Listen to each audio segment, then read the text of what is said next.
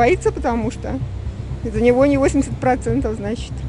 Боится своего народа. Мне кажется, это такой прощальный банкет, и люди, оторванные максимально от реальности, они не понимают, что происходит. Вот, поэтому мы ждем нашей победы.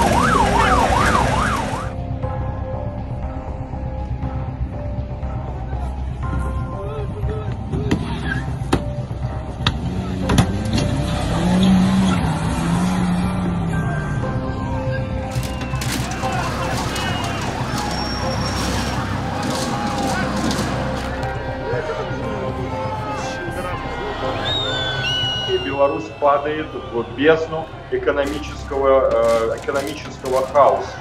И уже мы видим на территории и Польши, и Литвы беженцев.